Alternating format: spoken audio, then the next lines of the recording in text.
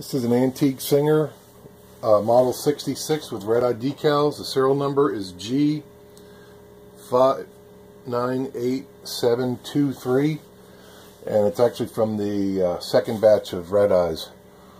Decals are pretty good. There is some wear on the front because this is one of the first uh, version red eyes that does not have a boss on the side for mounting a motor or hand crank so it is a treadle only machine.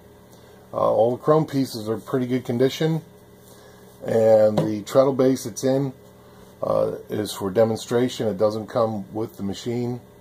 Uh, also with this older version the uh, bobbin winder uh, rides on the treadle cord so it has a different bobbin winder than the standard newer ones.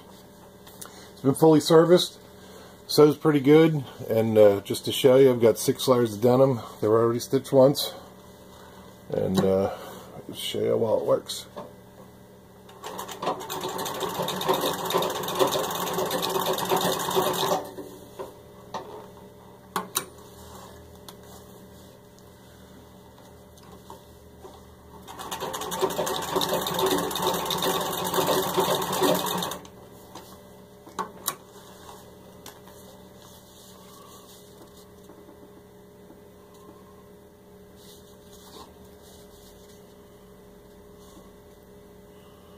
Now you can see no missed stitches and no equal stitch. There you have it.